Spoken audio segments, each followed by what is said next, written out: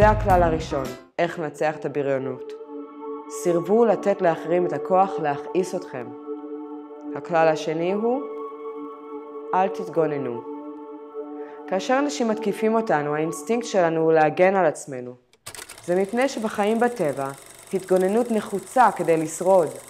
אם אתה מנסה לפגוע בי או להרוג אותי, אם אני לא אתגונן, אפסיד בגדול. היום, בחיים בתרבות, זה מאוד נדיר שמישהו מנסה בכוונה לפצוע או להרוג אותנו. בדרך כלל, כאשר אנשים אומרים או עושים משהו נגדנו, זה נעשה בלי כוונה. אולי הם מנסים לתקן את ההתנהגות שלנו, אבל אנחנו רגישים מדי כדי לשמוע את הביקורת שלהם. אולי הם מנסים לעשות צחוק על חשבוננו או לעצבן אותנו, אבל לא באמת להזיק לנו.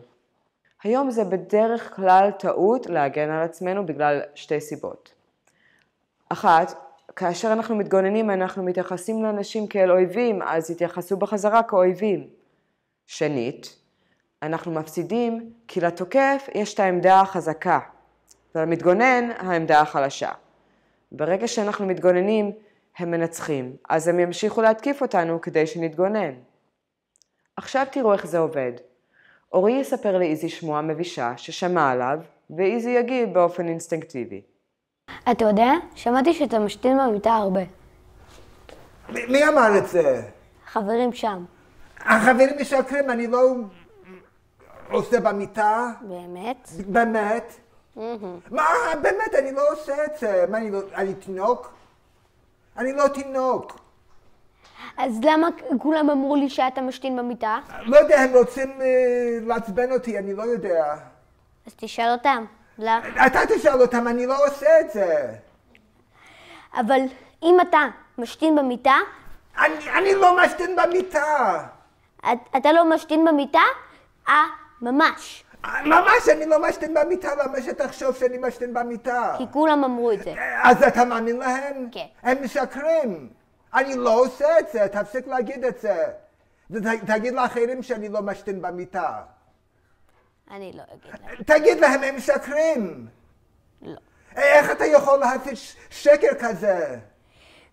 בגלל שכל הבית ספר אומר את זה, ו... ו... כל בית הספר אומר את זה? כן. זה, זה נורא, איך אני אבוא לבית הספר אם חושבים עליי ככה? אז אל תבוא. אבל אני צריך לבוא לבית הספר. אז אה, זה לא אשמתי. אם כולם אומרים שאתה אבל משתין תגיד במיטה, להם אתה שזה לא בטוח נכון, משתין כשהם במיטה. אומרים את זה, תגיד להם זה לא נכון, איזי לא משתין במיטה. אתה כן משתין. אני לא משתין במיטה. שמתם לב ליחסי הכוח? מי ניצח? אורי. האם איזי גרם לאורי להפסיק להגיד את השמועה? הפוך, הוא גרם לו להמשיך. האם איזי הצליח לשכנע את אורי שהשמועה לא נכונה? בכלל לא. כמה שאיזי התעקש שהשמועה היא שקרית, אורי התעקש יותר שהיא אמיתית. בואו נראה מה קורה כאשר איזי מתנהג אחרת. כולם אומרים שאתה משתין במיטה, אתה יודע? באמת? כן. אתה מאמין להם? כן. אם אתה רוצה להאמין להם, אני לא יכול לעצור אותך. אוקיי, אתה לא כועס? אנש- אנשים אומרים כל מיני דברים. אמ, אם כולם אמרו שאתה או, אה, משתין בתחתונים, אתה ת- ת- תגיד לזה? תגיב לזה בכעס? למה שאני אגיב לשטויות כאלה? אוקיי, אתה ילד שמאוד רגוע. אני אתעצבן מדבר כל כך שטותי? אמ, אנשים יכולים להגיד כל מה שהם רוצים, זה בסדר. נכון. ש- שתדע, כולם אומרים שאתה גם יושן בלילות עם דובי. כן, אתה מאמין גם לזה? לא. כן, יופי. מי ניצח הפעם? איזי. ובאיזה קלות. איך הוא עשה את זה? במקום להתגונן, איזי השיב עם תשובת הפלא. אתה מאמין לזה? זה שם את אורי בעמדת התגוננות. אורי היה צריך להחליט אם להודות שהוא מאמין בשמועה טיפשית. הוא העדיף לענות שלא. כאשר השמועה על ההרטבה לא הצליחה לו, אורי ניסה להפיל את איזי עם שמועה שהוא ישן עם דובי. שוב, איזי השיב עם תשובת הפלא, אתה מאמין לזה? ואיזי ניצח. זה יכול להיות קל להתמודד עם שמועה שטותית, אבל איך מתמודדים עם שמועה מביכה שכולם יודעים שהיא אמיתית? עכשיו אורי יספר שמועה לאיזי, שאבא שלו בבית הסוהר כי הוא גנב כסף ואנשים יודעים על זה כי הסיפור הופיע בחדשות. איזי יגיב באופן טבעי בהתגוננות והכחשה. שמעתי שאבא שלך בבית סוהר. זה לא נכון. אז למה כולם אומרים את זה? זה גם בעיתונות. העיתונות משקרת לפעמים. יש לי הוכחות. אבא שלי לא בבית סוהר, הוא בבית. איך הוא בבית? יש לך תמונה שהוא בבית? יש לך תמונה שהוא בבית סוהר? כן. זה לא נכון, הוא לא בבית סוהר. אה, אז אם אני ראיתי אותו בחדשות בבית סוהר, איך זה הגיוני? אתה לא מקשיב לנשיא טראמפ מארצות הברית, הוא כל הזמן אומר שהחדשות משקרות. אם החדשות משקרות, למה זה גם בעיתונים? כי עיתונים זה חדשות. אבל אה, הם לא מפרסמים את זה סתם. זה כן היה סתם, זה היה שקר. מישהו אחר אה, גנב בעבודה והוא סיפר שזה היה אבא שלי ולקחו את אבא שלי. לקחו את אבא שלך לאן? בסדר, הוא בבית סוהר, אבל הוא לא גנב.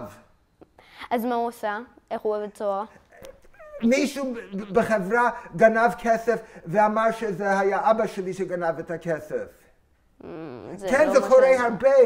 זה לא קורה. זה כן קורה הרבה, אבא שלי לא גנב. אז מה אבא שלך עשה באותה לילה שפרשמו את זה? אני לא יודע. אז אם אתה לא יודע, אז ברור שהוא גנב. הוא לא גנב, אבא שלי לא, לא גנב. מי ניצח? אורי. הוא נהנה כאשר איזי התעצבן. במקום לגרום לו להפסיק, איזי גרם לו להמשיך ולהשתכלל. האם איזי שכנע את אורי שהשמועה שקרית? בכלל לא. עכשיו תראו מה קורה כאשר איזי איננו מתגונן, אלא מתייחס לאורי כחבר. שמעתי שאבא שלך בבית סוהר. כן, זה ממש עצוב לנו. כן. זה... אבא שלך בבית, כן, ממש יש לך מזל. נכון. כן, זה, זה נורא שאבא שלי הלך לבית סוהר. זה, זה ממש לא... מר, מרגיש נורא. זה באמת נורא, זה הדבר הכי גרוע שקרה למשפחה שלנו.